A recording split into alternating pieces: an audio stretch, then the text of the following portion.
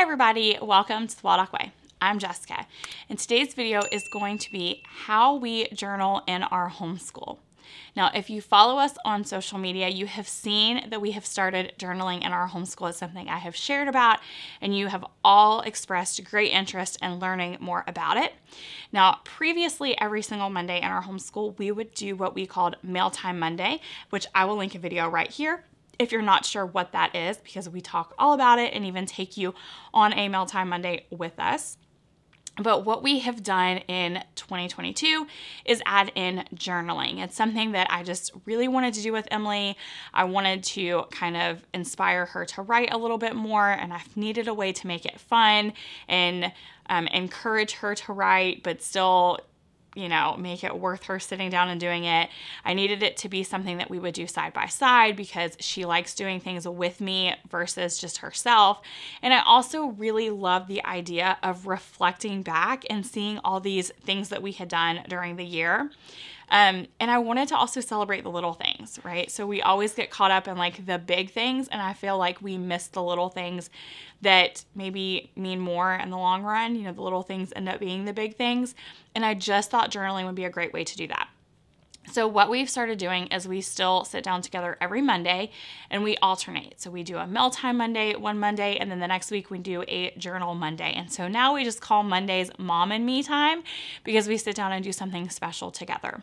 But I wanted to kind of show you the things that we use for our journaling time, the way that we do it, and then I'm going to actually bring you along on a Monday journal session with us so you can kind of get a behind the scenes look. So the first things that we start with obviously are our journals. We have two identical journals. These are from Walmart. They're $8. I will leave a link in the description box. I was very picky when I bought journals and I can tell you all of the things I wanted. The first thing I wanted was one of the elastic bands because we put pictures in here and so I knew it would potentially get um, really fat and I would need a way to keep it closed. I also wanted lines because Emily prefers that there are lines in a journal for her to write on. And then I don't know if you can see it or not, but I also wanted the month and the dates up here at the top for us to be able to circle or highlight to make it easy. Um, because sometimes we're not journaling a specific day. We might be journaling for a full week. You know, this is what we did this week. And so I just wanted, here as an example, you can see where I highlighted um, the week that I was talking about in that entry. So those were kind of my prerequisites when I was looking for journals. And also, these are a good size. These are like, um, I think, five and a half by eight and a half. So they weren't tiny, but they also weren't huge because I didn't want Emily staring at this giant eight and a half by 11 piece of paper, um, staring back at her like, oh my gosh, what do I write? And so this kind of makes it a little bit more doable for her. The pens that we use in our journal are the Papermate Flairs because this is something special. It was new to Emily. It was a type of pen that we have not um, used yet, so it made it fun. It also is very vibrant and bright, and I don't have to worry about like with the friction pens, them erasing and the heat or something like that. I can store these and look back on them years from now. They also do not bleed through, so they're very vibrant and bright. Um, you can see that here. But then if I flip the page, you can see that there's no bleed through from that pin. The other thing that we use is washi tape. We use a lot of washi tape and stickers. And what I do for that is I just pull our Mailtime Monday box out. Um, like I said, if you haven't seen that video, you really should watch it. But we have a Sterilite container full of things like washi tape and stickers. And so I'm trying to undo it. I just set these all out on the table open and we just pick whatever we want. So there's some washi tape. Actually, we have two washi tape and two stickers. Um, holidays. And I just collect stickers from all over. Like when places have them marked down, the Dollar Tree, Michael's, I just grab stickers from wherever. Um, we don't use like super expensive stickers or anything like that. And then the last thing that we use a ton is the HP Sprocket. So this is a little tiny, like it's smaller than the size of my hand, printer, and it prints two by three sticker pictures. So they automatically are stickers and you just peel the back off. Um, it is zero ink technology. Think of it like a Polaroid, so you never have to put ink in it again. And I can just print via Bluetooth from my phone. So essentially, we will sit down to journal together. And the first thing we'll do is kind of look back at okay, we're going to journal a day, a week, you know, what time frame do we want to journal? And then we both scroll through my phone. We just scroll through the gallery on my phone and we're like, okay, these are the 3 pictures or the 6 pictures or however many pictures we really want to print, whatever it looks like, you know, this is what we want to do.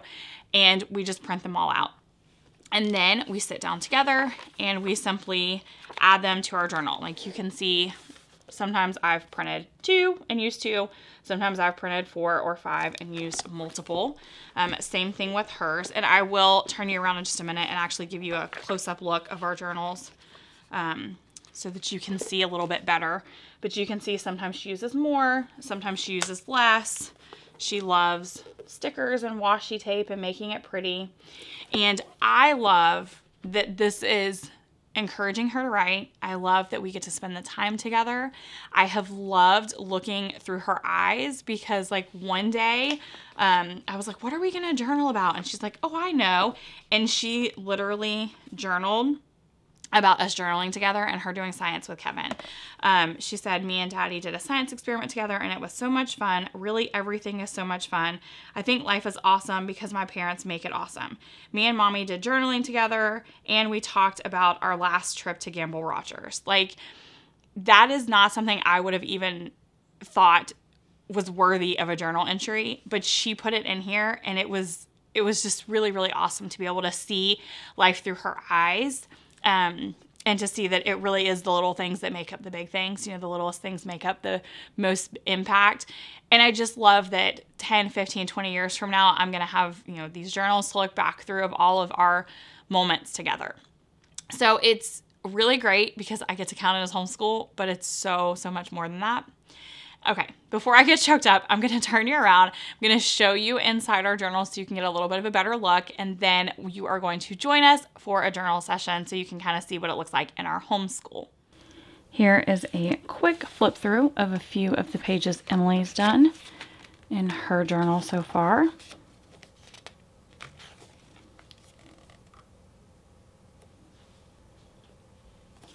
And here is a quick flip through of a few of mine.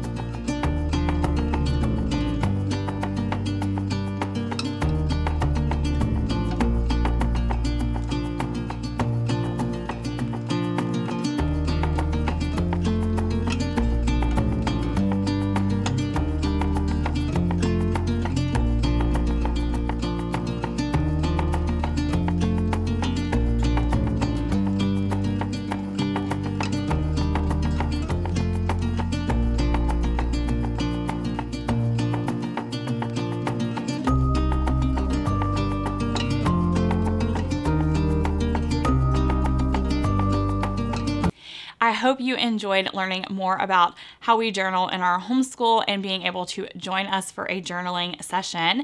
And now I would love to know if you journal with your kids, and if so, what are some of the supplies that you use? And if you don't journal with your kids, is this something that you think that you'll be adding to your days now? Please let me know in the comments down below.